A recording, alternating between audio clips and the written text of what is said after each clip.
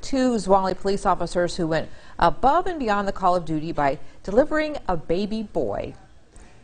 Officer Ron Clements and Officer Austin Bliss stepped up when emergency responders were not close enough to take over. The chief and assistant chief thanked the officers on Facebook, and they say this experience will help mold them into becoming more compassionate officers for the community.